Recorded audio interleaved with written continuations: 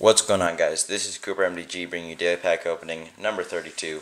So let's open up this pack here.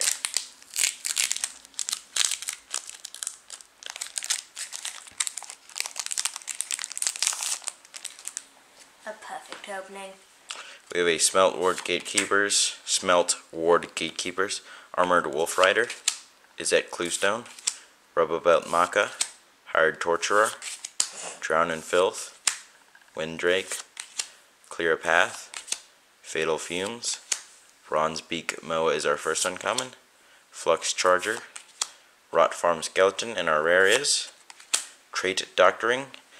This is a really interesting card. It says change the text of target permanent by replacing all instances of one color word with an another or one basic land type with another until end of turn. And we have a foil, Gruul War Chant, and a Selesnya Guildgate. And a two-colored spirit thing, I believe. Yes. Spirit. Anyways, guys, that was Cooper MTG bringing you daily pack opening number 32. Make sure to like and subscribe, and as always, thanks for watching.